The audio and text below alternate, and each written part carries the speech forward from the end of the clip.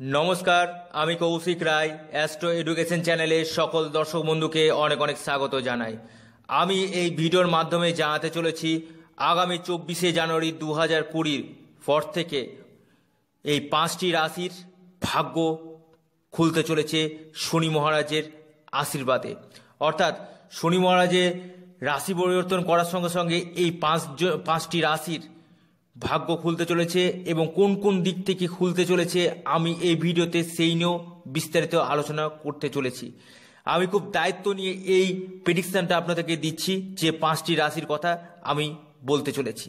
তো শুরু করা যাক।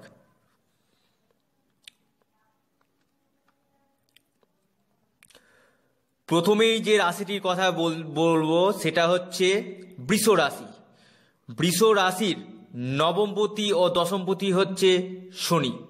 অর্থাৎ নবমপতি নবম স্থানে অবস্থান করায়, সক্ষেত্রিক অবস্থান করায় আপনাদের ভাগ্যোন্নতি হবে।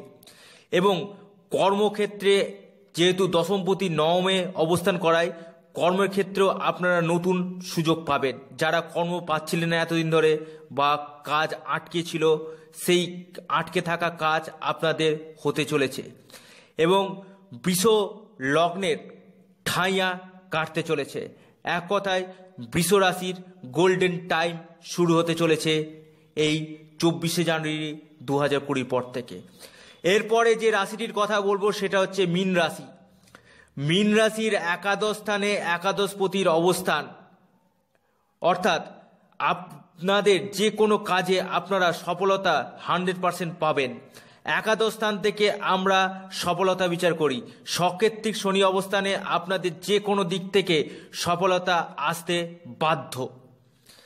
এরপরে আপনাদেরকে জানাই যে রাশিটির কথা, সেটা হচ্ছে বৃশ্চিক রাশি। বৃশ্চিক রাশির এই চব্বিশে জানুয়ারি দু হাজার কুড়ি পর থেকে শনির সাড়ে সাতি কাটতে চলেছে। এর ফলে এই শনি মহারাজ তৃতীয় স্থানে অবস্থান করছে, অর্থাৎ মকর রাশি ঘরে। আপনাদের তৃতীয় পতি ও চতুর্থ পতি হচ্ছে শনি মহারাজ।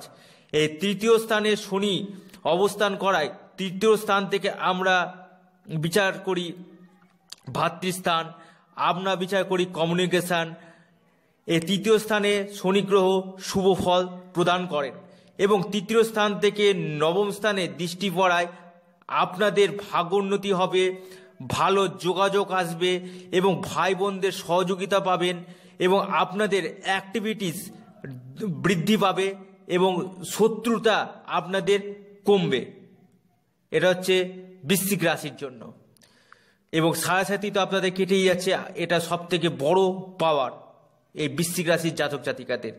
এরপরে যে রাশিটির কথা বলব, সেটা হচ্ছে মেষ রাশি। মেষ রাশির দশম স্থানে দশমপতি সক্ষেত্রিক অর্থাৎ যিনি একাদশপতি এবং দশমপতি মেষ রাশির, সে দশম স্থানে অবস্থান করায় আপনাদের কর্মক্ষেত্রে শুভ ফল প্রদান করবে এবং যে কোনো কাজে আপনারা হান্ড্রেড পারসেন্ট সফলতা পাবেনই পাবেন। এবং যারা রাজনীতির সঙ্গে যুক্ত আছেন, তাদের ক্ষেত্রে এ বছরটা অত্যাধিক শুভ বছর বলে গণ্য হবে। এবং যারা কর্ম নিয়ে এতদিন দুশ্চিন্তাতে ছিলেন, তাদের নতুন কর্মের যোগ শুরু হতে চলেছে এই চব্বিশে জানুয়ারি দু হাজার কুড়ির পর থেকে। এরপরে আসি সব শেষ রাশি, সেটা হচ্ছে কন্যা রাশি। কন্যা রাশির পঞ্চম স্থানে শনি মহারাজ অবস্থান করায়। আপনাদের শারীরিক পাঠ অনেকটাই উন্নতি হবে এবং একাদশ ঘরে দৃষ্টি দেওয়ায় আপনারা যে কোনো কাজে সফলতা হান্ড্রেড পারসেন্ট পাবেন। এবং আপনাদের, যাদের কন্যা লগ্ন, তাদের ঢাইয়া কাটতে চলেছে। এবং পঞ্চম স্থানে অবস্থান করায় পঞ্চমপতি পঞ্চম স্থানে অবস্থান করায় আপনাদের প্রেমজ সম্পর্কে উন্নতি হবে, নতুন প্রেম আসতে পারে জীবনে, এবং যাদের পুরাতন প্রেম কেটে গেছিল সেই পুরাতন প্রেমও ফিরে আসার প্রবল সম্ভাবনা দেখা যাচ্ছে। তো আমি আপনাদেরকে যে পাঁচটি রাশির কথা বললাম, খুব দায়িত্ব নিয়ে এই কথা প্রেডিকশনটি করলাম। শনি মহারাজ একটু ধীরগতির প্ল্যানেট তাই এই সাকসেসগুলো আপনাদের দিবে। আলটিমেটলি আপনারা সাকসেস পাবেন, কিন্তু একটু ধীরে ধীরে ধীরে ধীরে আপনারা এর প্রভাব বুঝতে পারবেন। তো ভিডিওটি এ পর্যন্তই। সকলে ভালো থাকুন, সুস্থ থাকুন।